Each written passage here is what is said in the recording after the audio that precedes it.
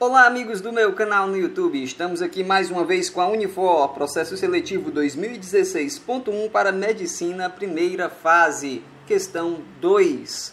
A figura abaixo representa um terreno de uma praça em Fortaleza, cuja forma é de um trapézio isósceles e cujas dimensões indicadas são dadas em metros.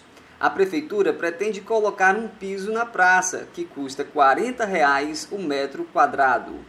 Qual o valor que a prefeitura vai gastar com o projeto? Então temos aqui a figura e os itens. Meus amigos, vamos passar agora para uma resolução.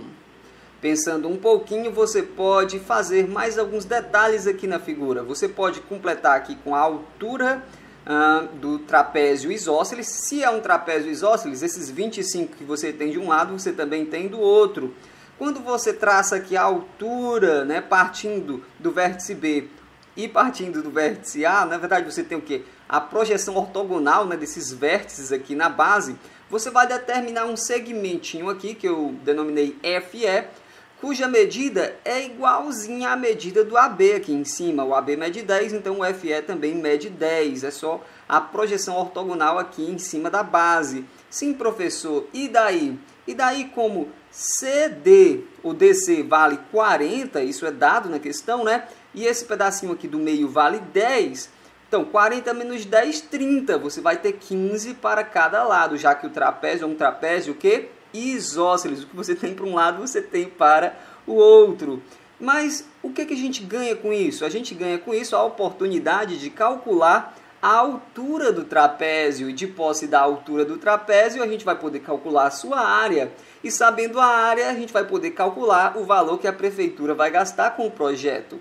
Porque é 40 reais um metro quadrado. Então quando a gente souber a área em metros quadrados basta multiplicar por 40 e saber quanto que a prefeitura vai gastar. Então vamos seguir com o nosso plano.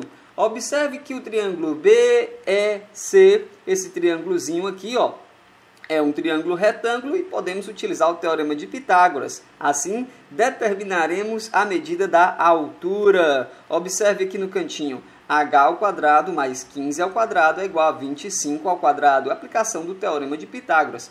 A soma dos quadrados dos catetos é igual ao quadrado da hipotenusa. A gente fala assim, mas é da medida sempre, né? Então, 15 ao quadrado na próxima linha eu já substituí por 225. 25 ao quadrado seu valor é 625.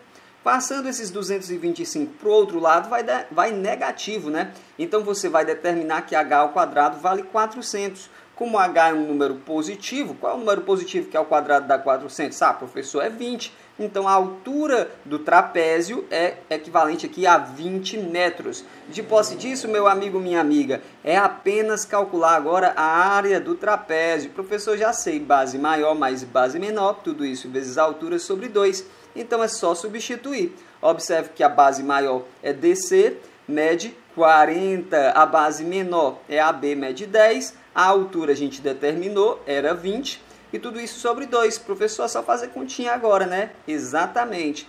40 mais 10, 50. Ora, 50 vezes 20 vai dar quanto? 1.000. 1.000 dividido por 2, 500. Então, a área da praça é de 500 metros quadrados. O que, que eu faço com isso agora? Calculo o gasto com o projeto. Como é que a gente vai calcular esse gasto? Ora, professor, a área da praça é de 500 metros quadrados. Cada metro quadrado custa 40 reais, então é só multiplicar 500 vezes 40.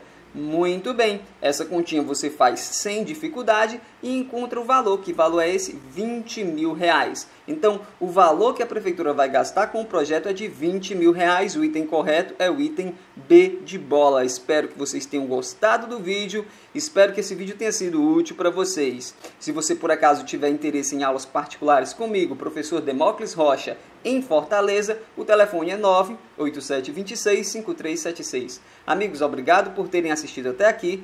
Um abraço e até a próxima. Tchau!